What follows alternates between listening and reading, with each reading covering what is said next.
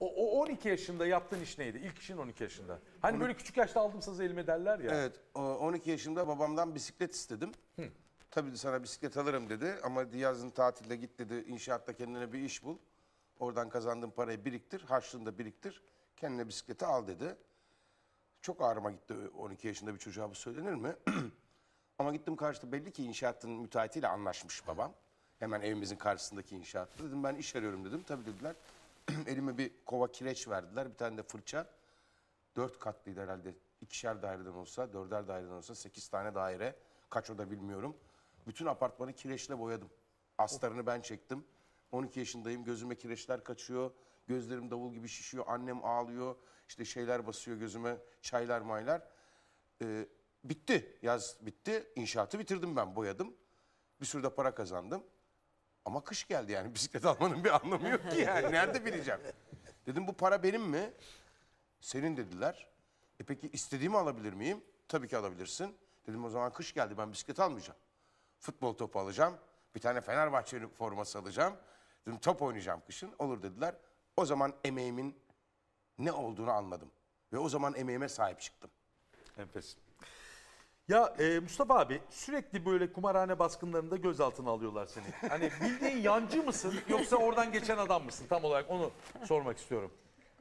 Beni hep alıyorlar abi. ya, Ya bir keresinde Gel- oral yetişmeye geldik gel- arkadaşlarla diye bir şeyim vardı. şimdi o o, o yıl işte ne geçen iki sene önceydi değil Sen mi? önceydi evet.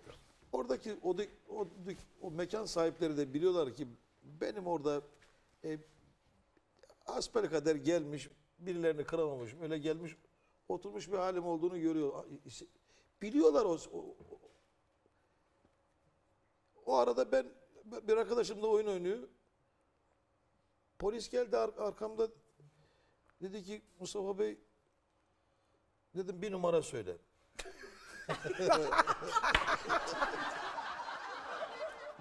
Ne numarası dedi. Numara yap.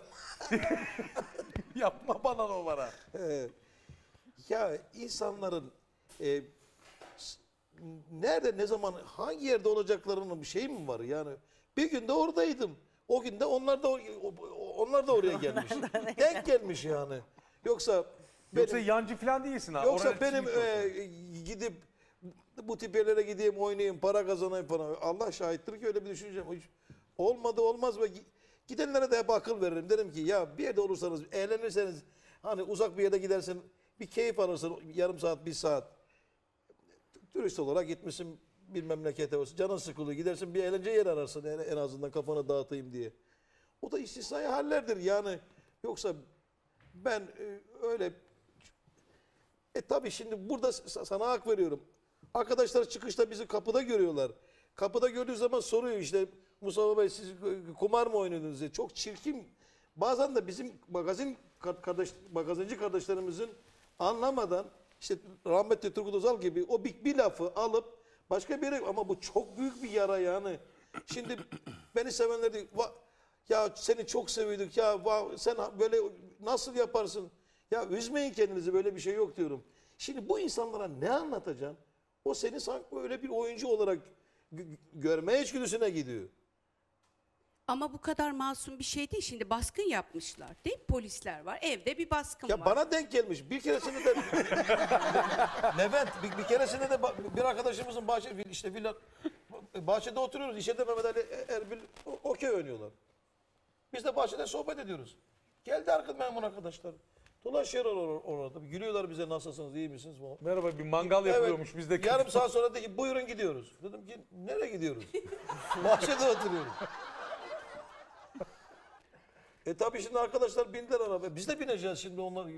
Bir Yalnız gittik, mı bırakacağız, Bir gitti baktık bizi tak emniyetin kapısındayız. Allah kameralar duruyor.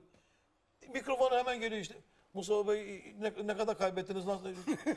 Lan ne kaybettim ne kay Yani bunlar doğrular Ama değil. biraz gelirseniz Yani kendimi şimdi kaybedeceğim dedim. Gerçekten yani e, bunlar güzel şeyler. Bu ama bu sizin hikaye neye benzedi biliyor musunuz? Hani adamı çapkınlıkta yakalamışlar.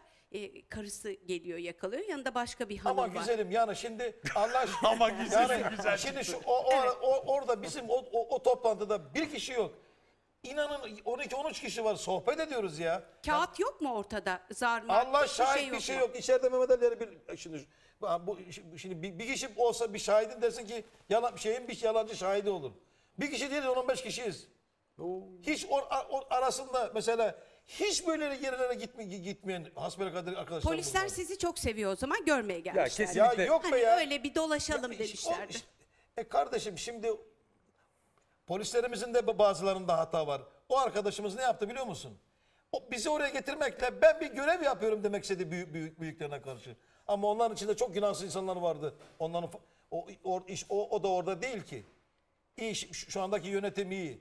Ama dedim ki o arkadaşa dedim ki ya kardeşim sen dedim benim oyun, oyuncu böyle bu adam olduğumu biliyor musun?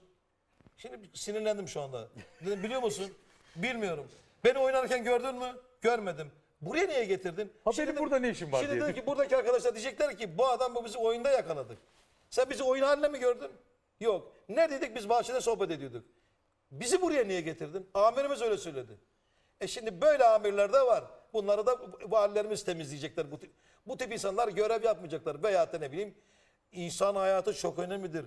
Bir, bir, bir ufak karalama, bir, bir küçük şey insan hayatını karalar Ama ve siz- yaralar. Bir şey söyleyeyim mi size? Eğer insanlar sizi seviyorlarsa ki samimiyetinizden dolayı değil mi Mesut'cuğum? Ben Çok o, seven insan zaten var. tek güvendiğim Oyun Allah'tan sonra oynasanız da severler. zaten tek güvendiğim şey insan. Yani o hayır Benim oyun güvencem oynasanız insanlar- Ben burada katılıyorum. Yani niye durduk yere kumarbaz damgası yesin ki insan? Yani bu çok Niye çirkin değil mi? bizim Hani kumarbaz şimdi damgası yesin? arkadaşım senin memurların beni oyun oynarken mi gördüler? O gece bir şakalı bir tuhaf bir şey olmuş. Ama çok iyi bir konuya değindin. Arkadaşım senin memurların beni oyun oynarken mi gördü? Yoksa bir bahçede sohbet mi ediyoruz? İçeride bir arkadaşlar kenarında eğleniyorlar. E sen şimdi o e- eğlenenlere dersin ki kanunsuz eğleniyorsunuz sizi götürüyorum. Oldu. Ya biz oturuyoruz o bahçede bir burası. Ha, Sesimiz de yine iş döndü dolaş nereye geldi biliyor musun abicim? Herkes işini adam gibi yapacak. Adam gibi yapacak yani. Herkes işini doğru yapacak. Döndük dolaştık başa geldik. Şimdi Dedim manşet... ki o, o arkadaşa dedim senin annen yok mu? Var dedi. Baban var. Ya dedim böyle bir şey dedim sen yapmasan baban seni de- dese ki oğlum sen ne yaptın? Ne cevap vereceksin dedim. Senin annen de beni seviyor, beni seviyor baban da seviyor.